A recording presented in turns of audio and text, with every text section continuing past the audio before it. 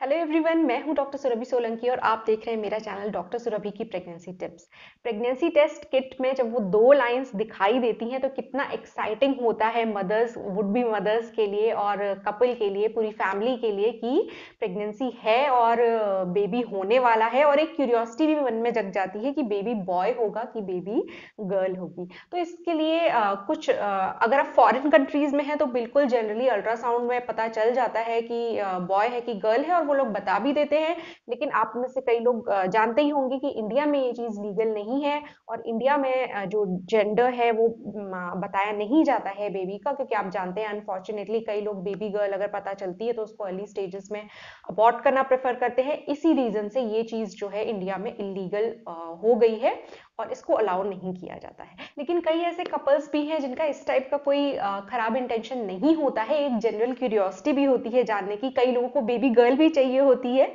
तो ऐसा नहीं है।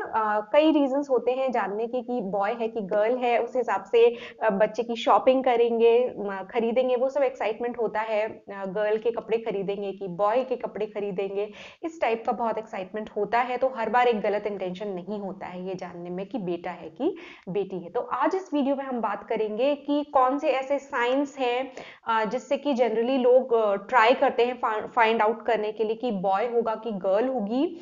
और अल्ट्रासाउंड के कौन से हफ़्ते में जनरली पता चलता है कि बॉय है कि गर्ल है, क्या ये एक्चुअली पॉसिबल है कि नहीं है?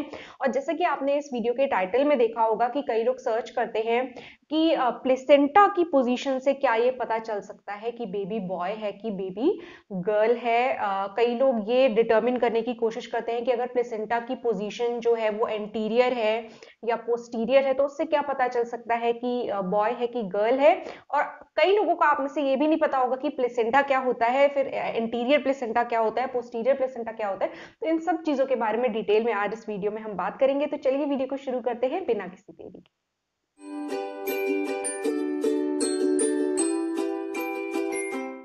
सबसे पहले हम जान लेते हैं कि प्लेसेंटा क्या होता है। जब आप स्पर्म और एग का फर्टिलाइजेशन होता है और एम्ब्रियो डेवलप होता है तो उसमें दो तरीके के सेल्स होते हैं। एक टाइप के जो सेल्स होते हैं, उनसे तो आपका बेबी डेवलप होता है और जो दूसरे टाइप के सेल्स होते हैं, उनसे प्लेसेंटा डेवलप होता है।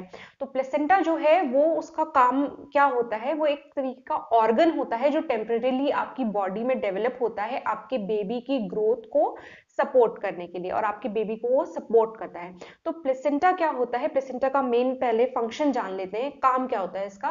प्लेसेंटा का काम ये होता है कि ये आपके ब्लड के थ्रू जो ऑक्सीजन होती है और जो न्यूट्रिशन होता है, वो आपके बेबी तक पहुंचाता है और फिर आपके बेबी के अंदर जो वेस्ट प्रोडक्ट्स निकलते हैं, उनको ये प्लेसेंटा जो है वापस आपकी ब्लड स्ट्रीम में पहुँचा देता है जिससे कि आपकी बॉडी से ये एक्सक्रीट आउट हो जाए।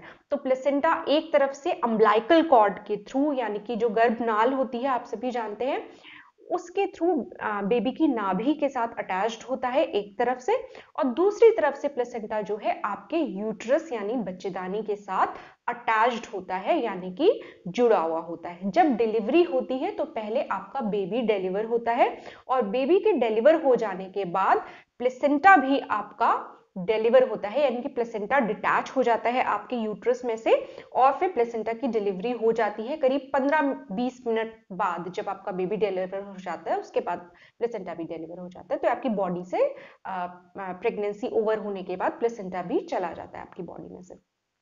तो ये प्लेसेंटा होता है। अब प्लेसेंटा जो है, वो आपके यूट्रस में कहीं भी अटैच हो सकता है। ज़्यादातर प्लेसेंटा जो है, वो यूट्रस के पोस्टीरियर पोर्शन में अटैच होता है। यानी कि पीछे वाले हिस्से में, जो आपकी स्पाइन जो आपकी बैक वाला हिस्सा होता है, उस तरफ़ ये यूट्रस में अटैच्ड होता है और ज़्यादातर ये upper side of the uterus में अटैच्ड होता है। कई बार प्लेसेंटा पोस्टीरियर पोर्शन में, यानी कि पीछे की तरफ़ बच्चेदानी में अटैच होने की बजाय एंटीरियर पोर्शन में एंटीरियर मतलब होता है आगे, यानी कि आगे की तरफ़ ये अटैच्ड होता है। तो कुछ लोगों के मन में थोड़ा ऐसा डाउट भी होता है कि कहीं अगर एंटीरियर प्लेसेंटा है तो बेबी की हेल्थ को कोई नुकसान तो नहीं है। तो ऐसा कुछ भी नहीं होता है बेबी की हेल्थ को कोई नुकसान नहीं होता है, चाहे प्लेसेंटा आपका पोस्टीरियरली अटैच्ड हो, यानी कि यूट्रस के पीछे की तरफ़ अटैच्ड हो और या यूट्रस के आगे की तरफ़, यानी कि एंटीरियर प्लेसेंटा हो, आगे की तरफ़ अटैच हो। तो इन दोनों में कोई भी ऐसी खतरे की या रिस्क की बात नहीं होती है। लेकिन एक चीज़ ज़रूर ध्यान रखिएगा, अगर प्लेसेंटा आपका लो लाइंग है, यानी कि बच्चेदानी में नीचे की तरफ़ आपका प्लेसेंटा अटैच हुआ है, और आपकी बच्चेदानी का जो मुँह है जिसको सर्विक्स कहा जाता है नीचे का पोर्शन जो होता है यूट्रस का, उसको नली की शेप का वो होता है, उसको सर्विक्स कहा जाता है। तो वहाँ पे अगर वो उसको बच्चेदानी के मुँह को थोड़ा कवर कर रहा है आपका प्लेसेंटा नीचे की तरफ़ है, वो रिस्की ज़रूर होता है, वो प्रेगनेंसी थोड़ी रिस्की होती है और उसमें एक्स्ट्रा प्रिकॉशन लेने की ज़रूरत पड़ती है। और कई बार अगर लास्ट ट्राइमेस्टर तक भी प्लेसेंटा नीचे की तरफ़ ही बना रहता है तो वहाँ पर फिर कई बार सिजेरियन सेक्शन की ज़रूरत पड़ सकती है। लेकिन जनरली क्या होता है कि शुरू आती में प्रेगनेंसी के अगर प्लेसेंटा नीचे है तो जैसे जैसे प्रेगनेंसी ग्रो करती है बेबी ग्रो करता है यूट्रस का साइज़ बड़ा होता जाता है तो प्लेसेंटा अपने आप ऊपर को मूव करता है। तो अगर वो अपने आप ऊपर को चला जाता है तो फिर ये प्लेसेंटा प्रीविया इस कंडीशन को कहा जाता है, यानी कि लो लाइन प्लेसेंटा अगर प्लेसेंटा नीचे की तरफ़ को है, उसको प्लेसेंटा प्रीविया कहा जाता है। इस पर मेरा एक वीडियो ऑलरेडी है। अगर आप डिटेल में प्लेसेंटा प्रीविया नाम की कंडीशन के बारे में जानना चाहते हैं तो लिंक मैं आपको ऊपर प्रोवाइड करा दूँगी। डिस्क्रिप्शन में अभी दे दूँगी मैं आपको उस वीडियो का लिंक आप उसको देख सकते हैं। वो एक रिस्की फैक्टर होता है। अदरवाइज़ अगर ऊपर की तरफ़ है प्लेसेंटा आपका तो चिंता की कोई बात नहीं होती है। चाहे प्लेसेंटा इंटीरियर हो चाहे प्लेसेंटा पोस्टीरियर हो। तो अब हमने जान लिया कि प्लेसेंटा क्या है, उसकी पोजीशन क्या रहती है यूट्रस में, और पोस्टीरियर प्लेसेंटा क्या होता है, और एंटीरियर प्लेसेंटा क्या होता है। अब कई जगह इंटरनेट पे आपको ये मिल जाएगा कि अगर प्लेसेंटा एंटीरियर है तो लड़की होती है, और प्लेसेंटा पोस्टीरियर है तो लड़का होता है। अब इस बात में कितनी सच्चाई है, ये भी हम जान लेते हैं। तो देखिए, दिल को बहलाने के लिए बात अच्छी है, जैसे आप अगर इस तरीके से अगर जानना है कि बेबी गर्ल है कि बेबी बॉय है तो आप टॉस करके देख लीजिए हेड आएगा तो बॉय टेल आएगा तो गर्ल यानी कि कहने का मतलब है कि ये सिर्फ़ एक टाइम पास के तौर पे बात ठीक है, इसके पीछे कोई साइंटिफिक आधार नहीं है, कोई रिसर्च इसको सपोर्ट नहीं करती है और ना ही ये कोई एक श्योरिटी है कि जिससे आप कह सके कि अगर एंटीरियर प्लेसेंटा है तो लड़की होगी पोस्टीरियर प्लेसेंटा है तो लड़का होगा, ऐसा कुछ नहीं होता है। प्लेसेंटा की पोजीशन की इंपॉर्टेंस इतनी होती है कि प्लेसेंटा जो होता है वो आपका अपर पोर्शन में होगा तो हेल्थ अच्छी रहेगी बेबी की और मदर की।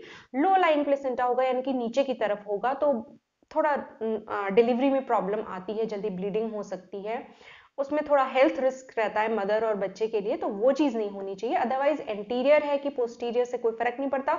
हाँ इससे बेबी गर्ल बेबी बॉय कुछ खास फ़र्क नहीं पड़ता है तो अगर आपने कहीं से ये पढ़ रखा है आ, कि एंटीरियर होगा तो गर्ल है तो आप इसको एक टाइम पास से ज़्यादा कुछ मत मानिए। श्योरिटी नहीं होती है ये। ऐसे तो कुछ लोग और भी कहते हैं कि अगर प्लेसेंटा जो है वो यूट्रस के राइट साइड में अटैच्ड है तो बेबी बॉय होगा लेफ़्ट साइड में अटैच्ड है तो बेबी गर्ल होगी।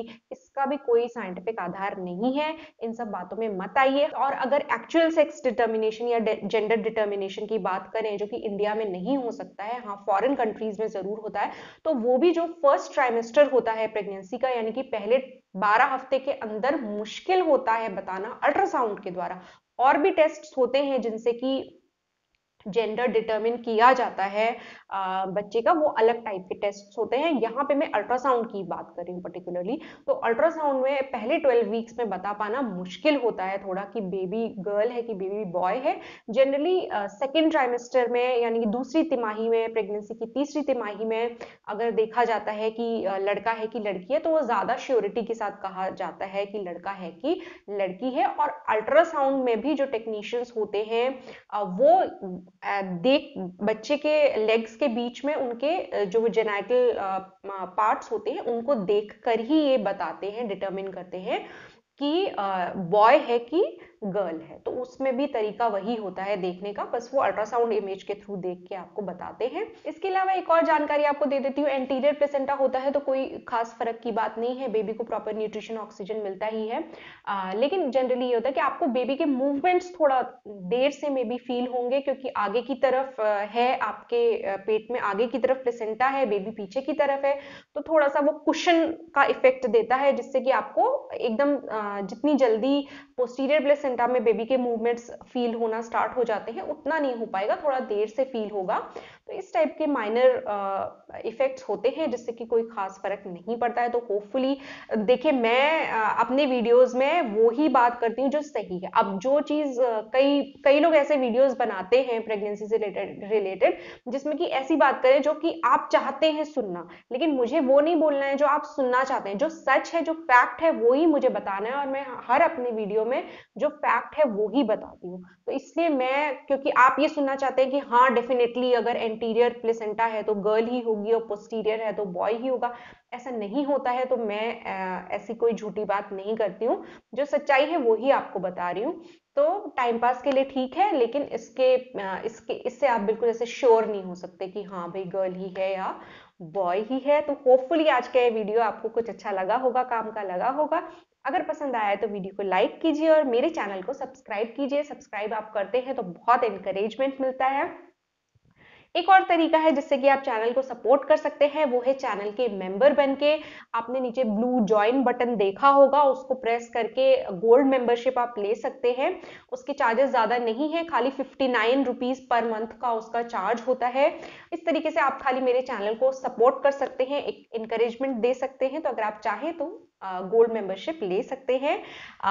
मैं आपसे मिलूँगी अपने अगले वीडियो में, तब तक के लिए अपना ख्याल रखिए।